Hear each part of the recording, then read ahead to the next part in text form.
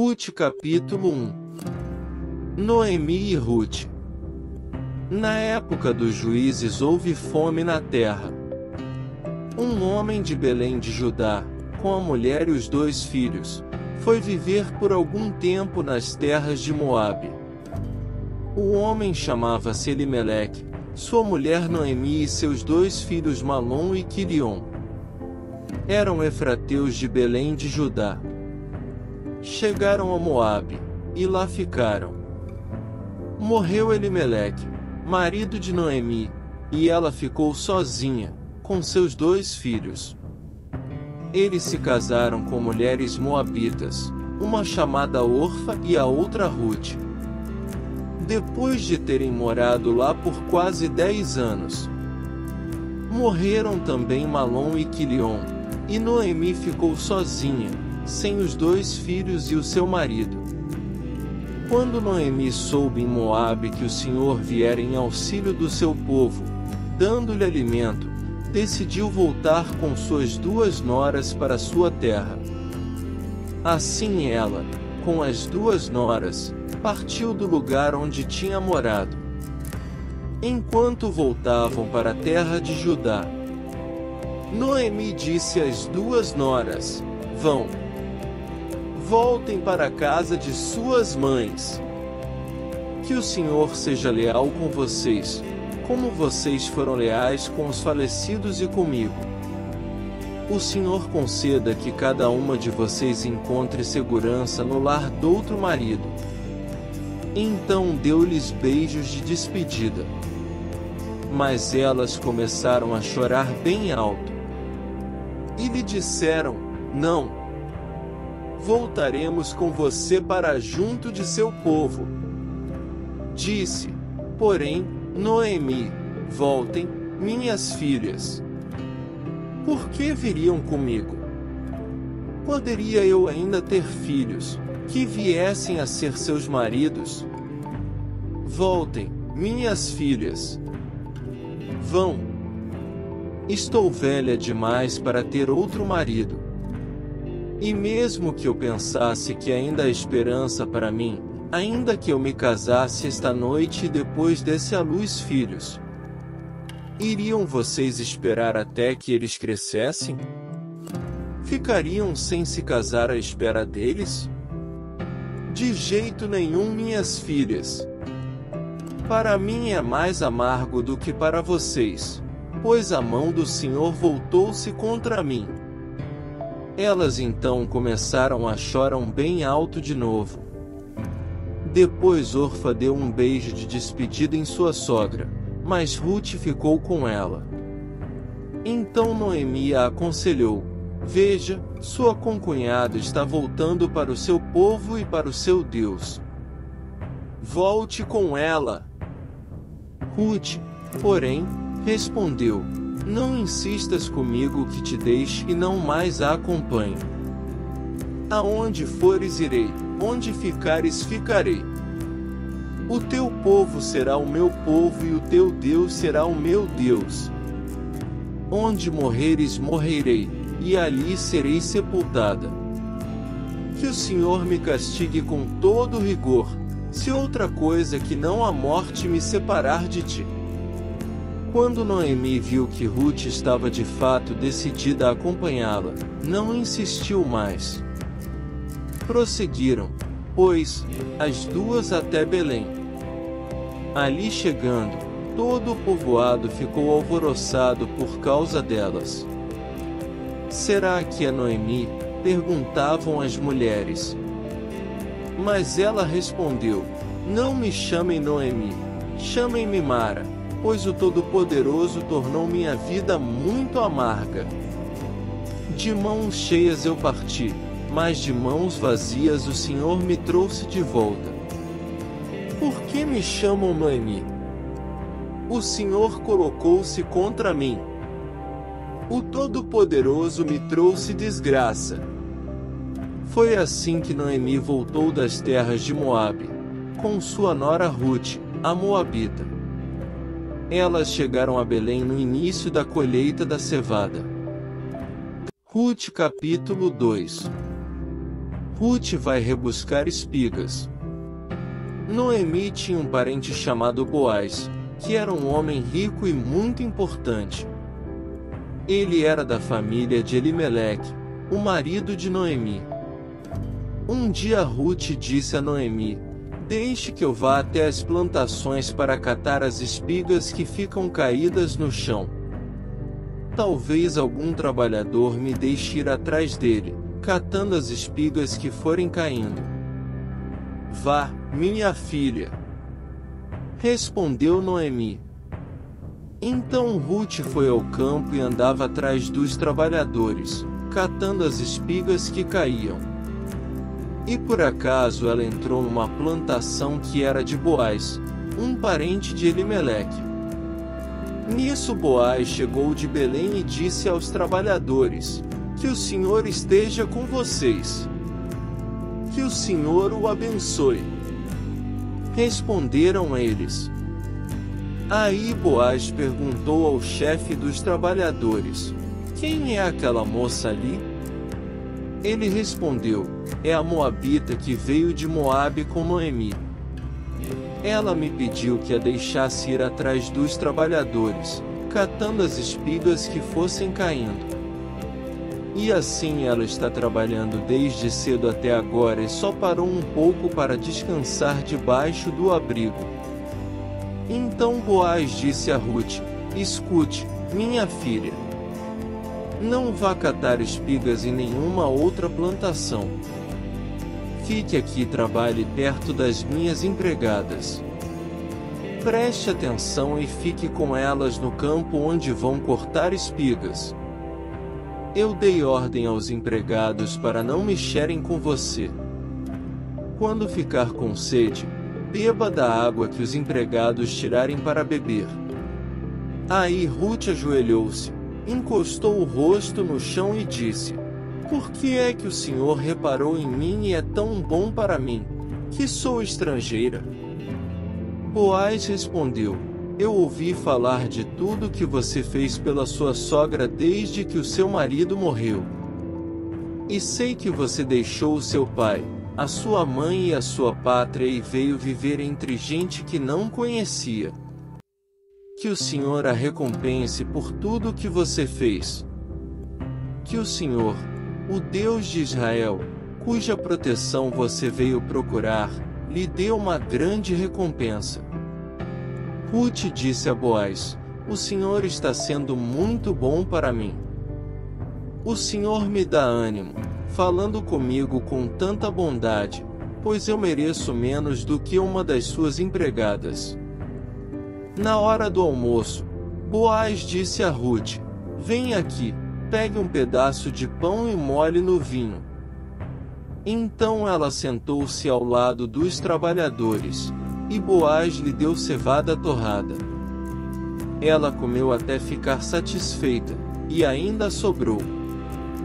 Quando Ruth se levantou para ir de novo catar espigas, Boaz ordenou aos empregados: Deixem que ela apanhe espigas até no meio dos feixes e não a aborreçam.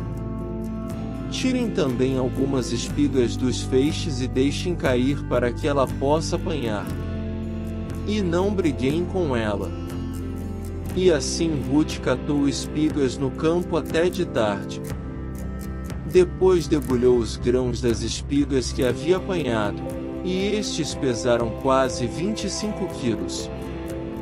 Pegou a cevada, voltou para a cidade e mostrou à sua sogra o quanto havia catado também lhe deu a comida que tinha sobrado do almoço. Então Noemi perguntou: Onde é que você foi catar espigas hoje? Onde foi que você trabalhou? Que Deus abençoe o homem que se interessou por você. Aí Ruth contou a Noemi que havia trabalhado na plantação de um homem chamado Boaz. E Noemi disse: Que o Senhor abençoe Boaz, que sempre tem sido bom, tanto para os que estão vivos como para os que já morreram. Noemi continuou: Esse homem é nosso parente chegado e um dos responsáveis por nós.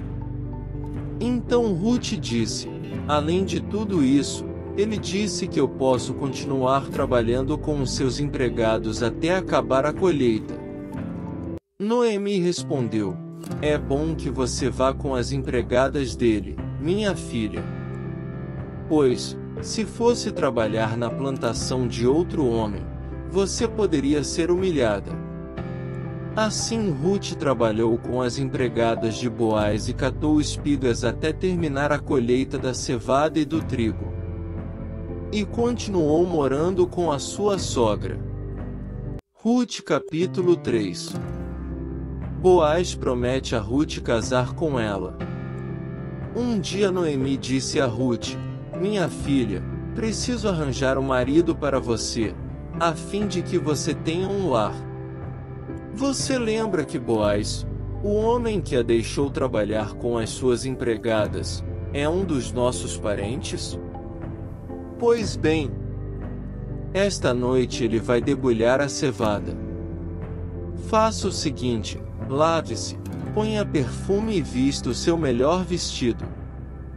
Depois vá até o lugar onde Boaz está trabalhando, mas não o deixe saber que você está ali, até que ele acabe de comer e de beber.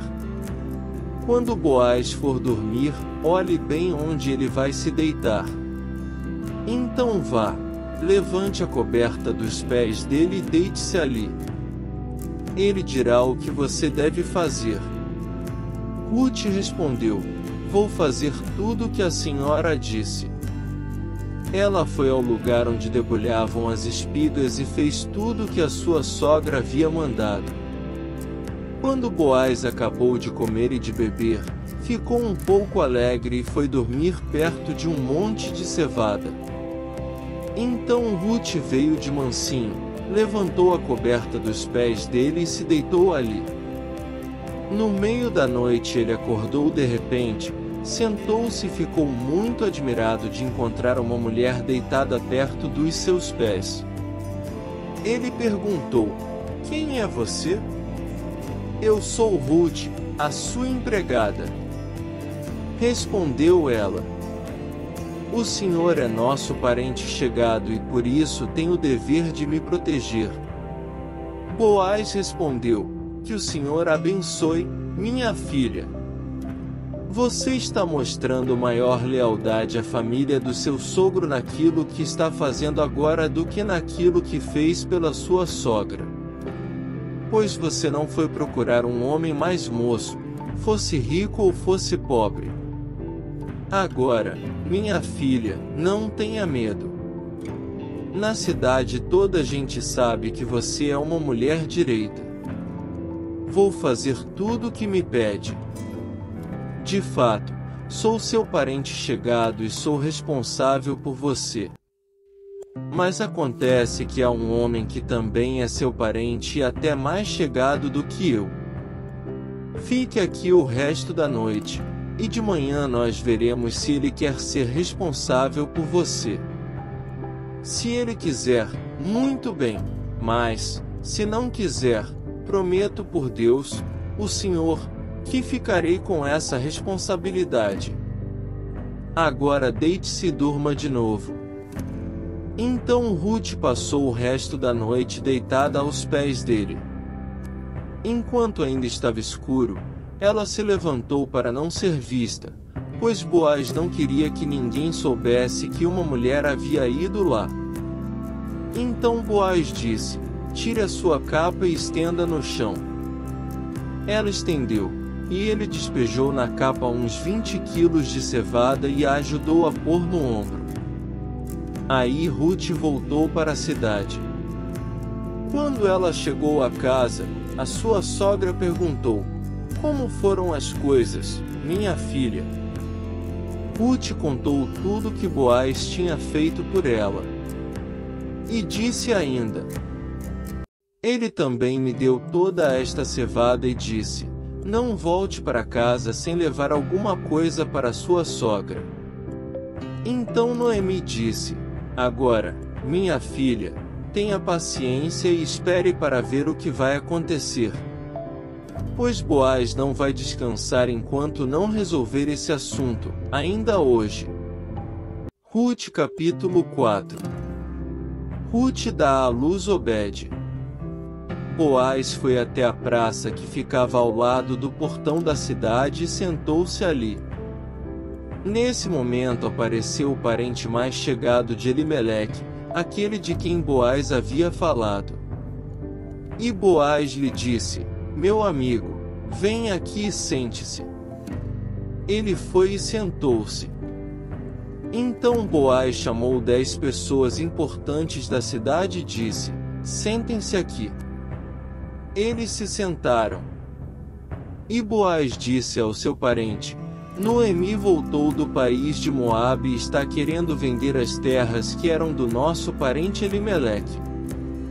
Então eu resolvi conversar com você sobre este assunto. Agora, se você quiser, compre essas terras na presença das autoridades do nosso povo e dos homens que estão sentados aqui. Mas, se não quiser, diga, pois o direito de comprar essas terras é primeiro seu e depois meu. O homem respondeu: Eu compro as terras. Aí Boaz disse: Se você comprar as terras de Noemi, também terá de casar com Ruth, a viúva moabita, para que as terras fiquem com a família do falecido. Então o homem respondeu: Nesse caso, não vou usar o meu direito de comprar as terras, pois correria o risco de prejudicar a minha própria herança. Use você o meu direito, eu prefiro não fazer isso. Antigamente, em Israel, para fechar um negócio de compra ou troca de propriedades, uma pessoa entregava a outra sua sandália. Compre você as terras. Em seguida tirou a sandália e deu a Boaz. Aí Boaz disse às autoridades e a todo o povo: Hoje vocês são testemunhas de que eu comprei de Noemi tudo que era de Elimeleque, e de Quilion, e de Malom. Também casarei com Ruth, a Moabita, viúva de Malom, para que a propriedade continue com a família do falecido. Assim o nome de Malom será sempre lembrado no meio deste povo e na sua cidade natal. Hoje vocês são testemunhas disso. Todos responderam: Sim, nós somos testemunhas. E as autoridades disseram a Boaz: O Senhor faça com que essa mulher, que veio para o seu lar, seja como Raquel e Leia que deram muitos filhos a Jacó, tornando-se assim as mães da nação israelita. Que você seja rico e famoso em Belém Efrata. Que os filhos que o Senhor lhe der neste casamento façam com que a sua família seja como a família de Pérez, filho de Judá e de Tamar. Então Boaz levou Ruth para casa, para ser a sua mulher. Eles tiveram relações, e o Senhor deu a Ruth a bênção de ficar grávida, e ela deu à luz um filho.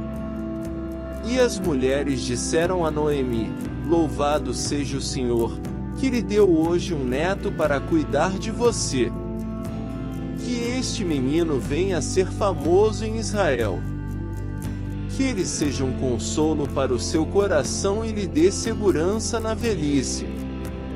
A sua nora, a mãe do menino, a ama, e ela vale para você mais do que sete filhos. Noemi pegou o menino no colo e cuidou dele. Ao vê-lo, as mulheres da vizinhança diziam: Nasceu um filho para Noemi. E lhe deram o nome de Obed. Obed veio a ser o pai de Jessé, que foi o pai do rei Davi. Os antepassados de Davi, desde Pérez, são estes, Pérez, Isrom, Rão, Aminadab, Nazon, Salmão, Boaz, Obed e Jessé. Caso você queira continuar ouvindo o próximo capítulo é só clicar na tela que está aparecendo no seu vídeo. Inscreva-se no canal e ative o sininho para não perder nenhuma notificação de novos vídeos. Curta e deixe seu comentário.